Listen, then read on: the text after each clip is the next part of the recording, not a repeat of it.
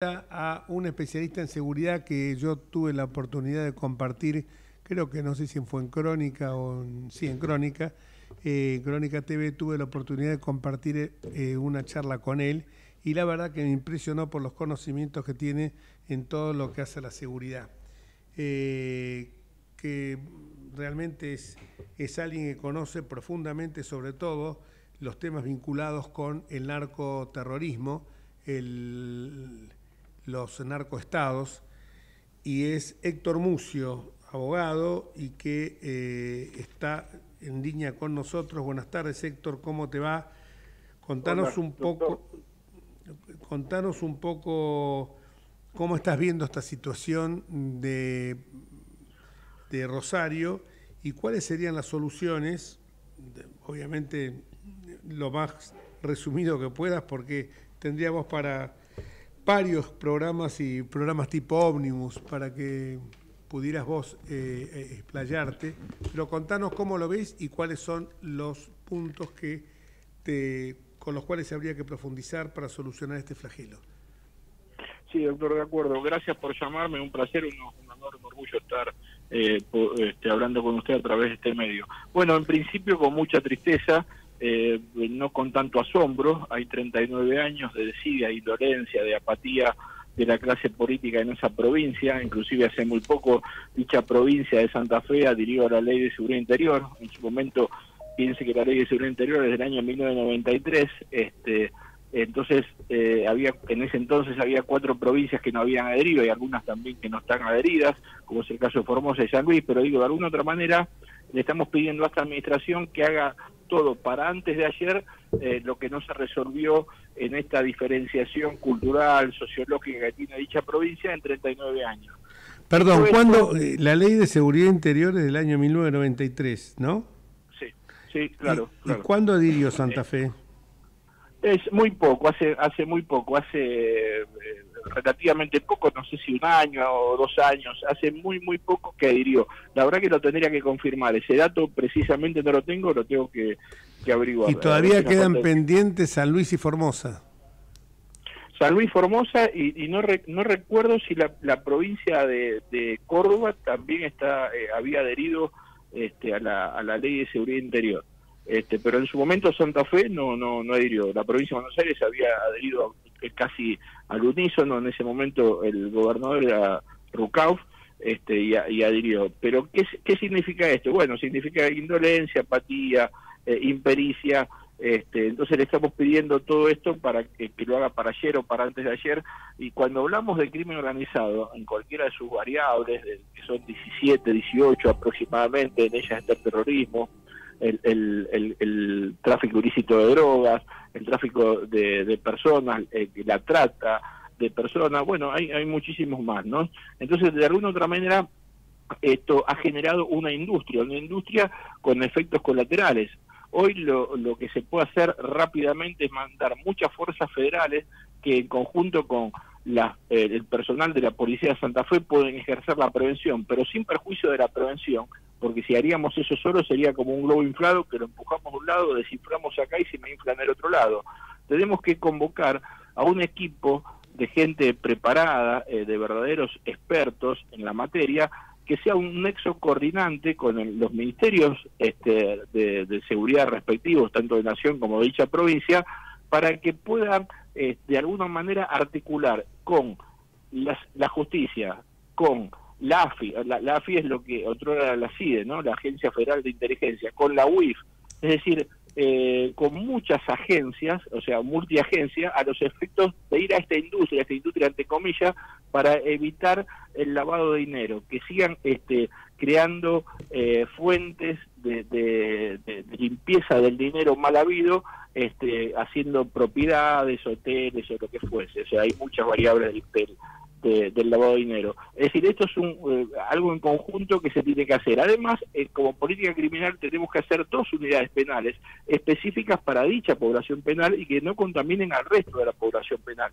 Es decir, que eh, hasta ahora también tengo que decirlo, se ha hecho muy poco, porque en estos tres meses se podía tener construido un 20, un 25% o una unidad carcelaria específica para esta materia. También, cuando hablamos de este grupo y este equipo el coordinador, también hay que hablar con la Procuración, con la Corte Suprema, para que designe uno, dos o tres jueces específicos de dicha materia para el juzgamiento rápido de estos encausados y con la prueba documental, testimonial y pericial que se le aporte través de la, eh, como dije, de las escuchas y demás, puedan ser juzgados, puedan ser condenados, sometidos al debido proceso, por supuesto, para que no sigan contaminando a la población. Esto es como como política pública preventiva en seguridad y en política criminal.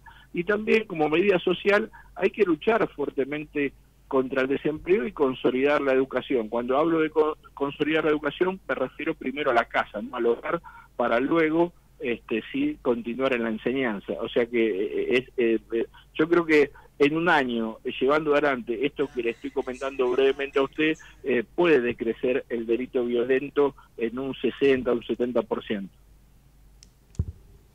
¿Cómo estás, Héctor? Lautaro Nieto te habla también, acompañándolo acá, Jorge. Este, bueno, muy interesante todo lo que señalás, ¿no es cierto?, respecto de, algunas soluciones que, bueno, habría que, trabajarlas en, combinación, ¿no es cierto? Y lástima que, bueno, eh, digamos, eh, sembrar en educación y, en trabajo para la gente lleva muchos años hoy, ¿no? Estamos 20 años, por lo menos 20 años nos va a llevar eh, reeducar a esta generación que ha sido tan, tan eh, golpeada por, por los últimos gobiernos, ¿no? Eh, ese es un tema. Tal cual, por eso hablé, hablé de la, la, la, diferencia eh, sociológica y cultural que tiene la provincia, que en definitiva tiene nuestro país, y, ese fue mi principio de, la charla, para iniciar la charla este, junto a ustedes, y, explicar un poco que esto de trasfondo en la enseñanza sí meramente tiene 20 años, e, educación inicial, primaria, secundaria y terciaria, ahí me lleva 20 años. Es decir, por eso hablaba de como medida social, ¿no? De, este, consolidar la educación y luchar fuertemente contra el desempleo, porque eh, donde no se hace esa medida social, después pedir medidas punitivas, la pena de muerte no existe, yo no creo en ello, elevación de las penas a, a 100 años de cárcel, bueno, no, no ejemplifican, ¿no? Hay que leer este, el Marqués de Becaría de los delitos y de las penas para darse cuenta. Entonces, este, tenemos que entender que esta es una, una problemática eh, que es la realidad. La realidad, por estar de fuera, fuera nuestro, decía Ortega debe, debemos tomar perspectiva. Esta es la realidad que se resultó de la acción de la mala praxis de estos 39 años de políticas de, de desidia, de indolencia, de apatía que bueno se fue manejando por otros canales y esos canales los aprovechó el, el, crimen organizado que justamente el crimen organizado todos sabemos en cualquiera de sus variables son la historia de la humanidad ¿no? Ahora, eh, ¿y qué opinás Héctor de este proyecto que anda dando vueltas para modificar la ley de, de, este, de seguridad interior ¿no? y permitirle al ejército alguna intervención un poquito más, más importante ¿no? Yo, eh, digo esto con todo respeto. Eh, eh, bueno, yo soy licenciado en seguridad, además abogado y magíster en seguridad pública y soy un ex oficial de la policía de la provincia de Buenos Aires. Las Fuerzas Armadas no están preparadas para la prevención Estamos de acuerdo. del delito. Las Fuerzas Armadas están calificadas para otro tipo de situaciones, pero esto no colisiona que este, coadyuve con la logística, digo, no colisiona la ley de defensa nacional, que es del año 88, y la de seguridad interior, para que aporten logística. Por ejemplo, ¿qué podrían aportar logística? Si se crean estas dos unidades penales en política criminal que recién les explicaba, el anillo primario puede estar justamente resguardado por las Fuerzas Armadas. ¿Qué quiere decir? Con escáner, donde de alguna otra manera el bolso que ingresa el, director de esa unidad penal y el ordenanza, o sea, del primero hasta el último en esa jerarquía, sean chequeados por las Fuerzas Armadas en ese perímetro. Y adentro se encarga el servicio penitenciario, ¿no?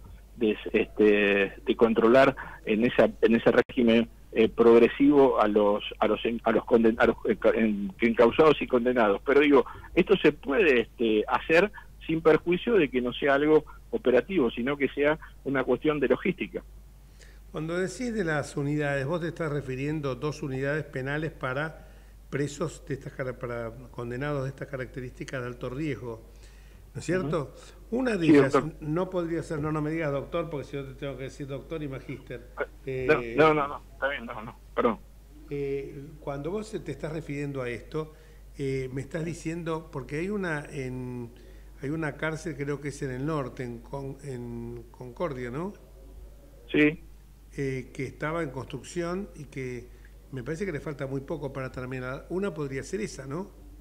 Sí, justamente tenemos que eh, poner al, perfilamiento de crimen organizado. El crimen organizado tiene 17 variables. El secuestro de aeronaves, por ejemplo, es decir, el tráfico ilícito de drogas, que son las TIP, como llamamos nosotros, el tráfico de personas, la trata de personas, digo, hay, hay, hay muchísimas. Es decir, entonces esa gente que de repente tiene unos recursos, recursos mal habidos, del dinero mal habido, que compran voluntades, los voy a segmentar eh, este, con con la misma población penal. No los voy a eh, llevar a otras unidades penales carcelarias para que me contaminen al resto y hagan escuela de delincuentes.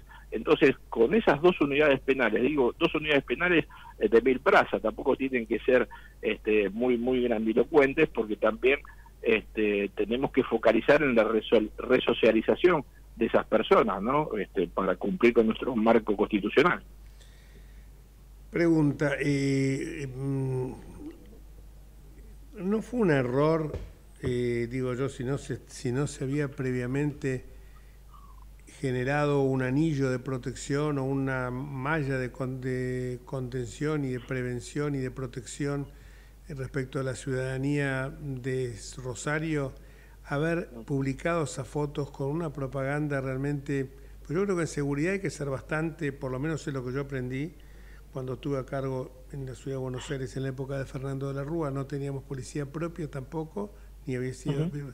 No es demasiado estar enfocando las escenas eh, para mostrar que estamos en, como si fue, a lo Bukele, cuando Bukele para hacer esos procedimientos previamente había generado un anillo de protección al ciudadano común, porque sabe que esta gente que está viviendo en all inclusive, porque reciben delivery, visitas íntimas, visitas íntimas de familiares y de no familiares. Entonces yo creo que haber mostrado esas fotos sí es buen marketing, pero con eso me parece que no sé vos qué opinás. Pero las visitas íntimas se terminaron, por ejemplo. Doctor, opino tal cual usted 100% de acuerdo, es decir, eh, no se puede hacer marketing en seguridad. Sí se puede hacer un marketing estratégico, ¿no? pero un marketing directo mostrando algo. Aparte, Bukele cuando lo muestra ya tenía este, coordinado, como dice usted, tanto el delito violento como la unidad carcelaria específica para ese perfil de, delincuentes que estaban privados de su libertad. Pero eh, fue un error, claro que es un error. Por eso eh, poner eh, especialistas, entre comillas, en seguridad que confunden homicidio con hipoteca porque las dos se escriben con H, esos son los resultados. ¿no? Eso, no, quiero Tal cual, tal cual, tal cual. Los tipos recibían, tenían todo, recibían el, delivery, las visitas íntimas. De pronto le sacás todo. Los teléfonos celulares. Teléfonos celulares y de línea, en puntos ciegos que los que las cámaras de televisión había connivencia con el servicio penitenciario. Computadoras, bueno, pero lo que yo digo es lo siguiente, era necesario, eh, lo que vos decís, eh, el lo que vos señalabas muy bien, Héctor, que era justamente sacar esas fotos, porque además, por más que lo... Me, hace reír porque dice, no, pero no se les veía la cara, pero se le veía la espalda, que por, las, que por los tatuajes que tiene identificás a cualquiera mostrar, mostrar la foto, si querés, en un aula de esas personas, resocializándose, porque claro. de la cárcel el, delito se gana en el aula, no mostrando esas fotos en el piso. Exactamente, exactamente. Estoy de acuerdo con usted, estoy de acuerdo con usted, este, eh, bueno, pero eh, Jorge. Muchísimas gracias y espero vernos pronto para seguir aprendiendo, en mi caso, en Crónica en algún momento. El viernes Dios, mediante así será. Un fuerte abrazo. El viernes, el viernes se voy a andar por ahí, así que sería bueno que nos cruzáramos. Bueno, seguramente no, nos vamos a ver seguramente. Gracias, eh, gracias. Buenas, tardes. Bueno, Héctor, buenas tardes, eh, gracias por todo. Claro, ahora prohibieron todo lo que era, todo